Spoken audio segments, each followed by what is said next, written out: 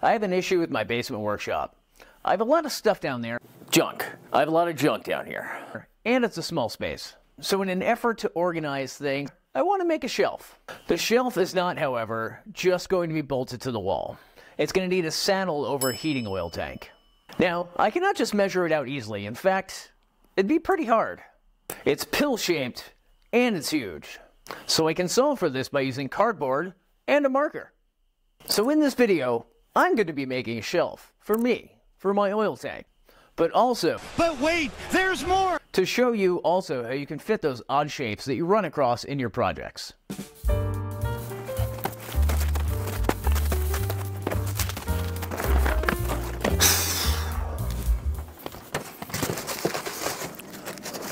I'm going to put that there. Get in here and drag my marker along the edge of this. And I want it to come down to, that's the front. I'm gonna come down to here.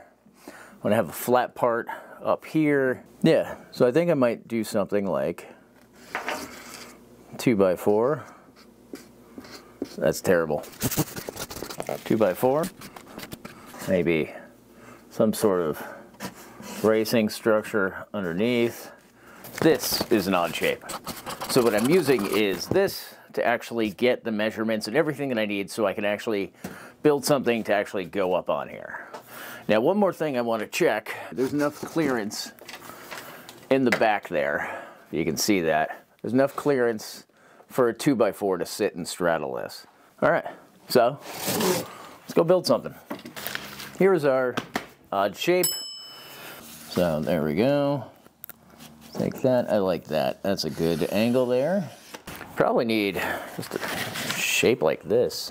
Piece. It's about yay big. There we go.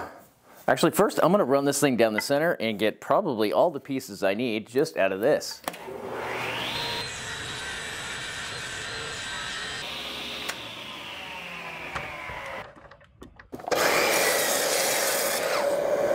Now we have our top pieces. So we got two of those. And then we need something, I think it's just a brace down here, right? But we will go onto here. Cut there. Let's cut those two pieces then. You are gonna go there. You are gonna go there. I need two more of these. Now, Gonna have two over here. I'm just gonna peer down this way.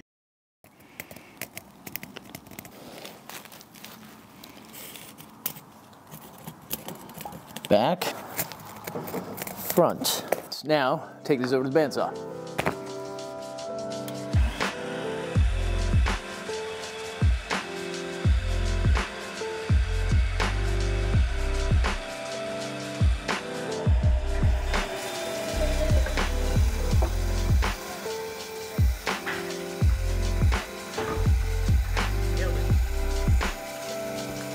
And before I forget, be right back.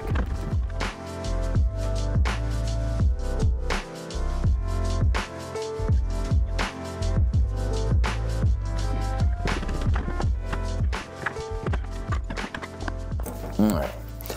Mark where this is going to be. There's the edge.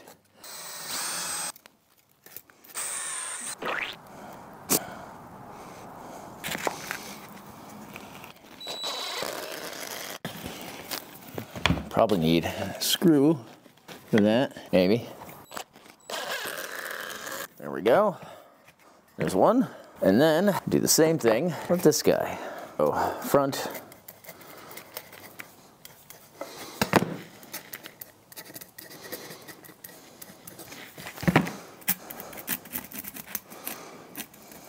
Now I need to cut a piece of plywood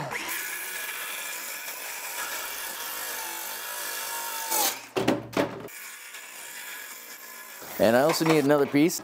It's gonna be the front. I want this one over here, two inches from the back.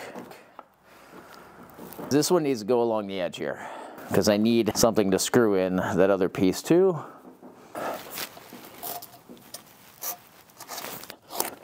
is back.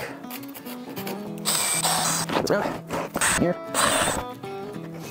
This one, back. There.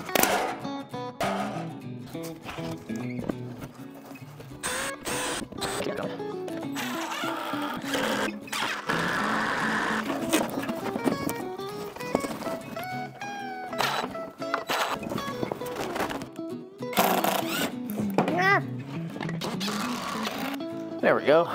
Let's see if I did it right. That's the important thing, right? But before that, This is a banana. but before, before that, Let's take this odd corner in the ceiling. Now, let's say I need a piece of wood here to fit this corner. I know the roof is about 45 degrees to the back wall of the house, but there are studs, drywall, etc. between the outside and the inside corner here. That was a tough angle to get to. I used my angle finder. You see I had to take it, flip it upside down to actually even make it fit there to actually get that angle. But I did get it. The easier way to do this is with two pieces of cardboard and some tape. I still was able to get that same angle, as you can see here. But what I wasn't able to get with this was that little nibbin in the corner right there. The angle finder could not get that and doesn't fit it perfectly. Whereas the cardboard does fit it perfectly. So now I can take this and cut out whatever pieces I need and fit this so it goes up there. So remember to label. Now, let's cut it out and see if it fits.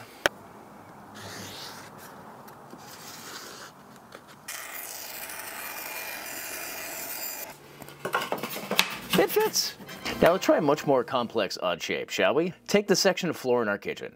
There's molding, a corner, and a rounded corner at that, and a heat register. Let's say I needed to fit that weird shape. Using the same method we just used on the ceiling, we can use that here. Just want to use a lot more piece of cardboard and a lot more tape.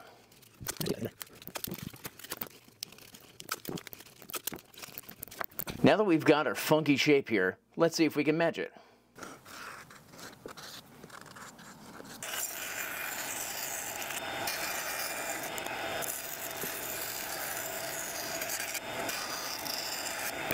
Close enough.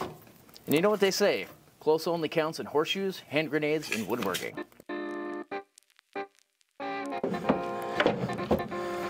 There we go. Fits like a glove and does exactly what I needed to. And now just put all this crap back. We built that shelf and it fit. Not surprising at all though. Although usually when I make something, I'm surprised as anyone if it works. But not this project. Using templates is like cheat measuring. I love tools that measure things, but I hate measuring. Mostly because I'm not good at mathings. And now for something completely different. This is a banana. Uh. Now, let's say I needed to trace this banana. I could just trace it right on a piece of wood and cut it out. What if, however, this was a million dollar piece of art and it was taped to a wall? We can't go exactly taking that banana off there, can we? Kinda difficult. I don't even know how to get this one. No, let's just cut on the bezel.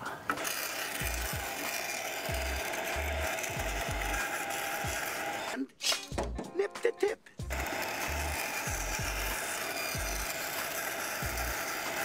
Now with our template, voila, framed a banana. Fish.